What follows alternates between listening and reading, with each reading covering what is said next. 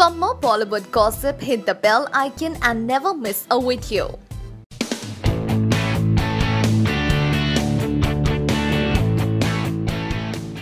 रोहित शेट्टी की गोलमाल अगेन से सभी काफ़ी इम्प्रेस्ड है। और अब खबर आई है कि रोहित शेट्टी इस बार वांटेड के सेकंड इंस्टॉलमेंट में दबंग भाईजान सलमान को डायरेक्ट करने वाले हैं। वेल इस फ़िल्म को पहले प्रभु देवा डायरेक्ट करने वाले थे।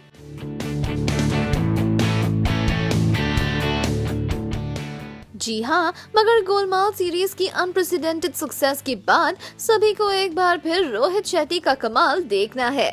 ऐसे में शाहरुख के बाद अब सलमान भी रोहित के साथ काम करना चाहते हैं। तो क्या रोहित और सलमान वांटेड टू के लिए एक सक्सेसफुल कॉम्बिनेशन होंगे? शायद यही वो जोड़ी हो जिसका हमें इंतज़ार था। क्या पता?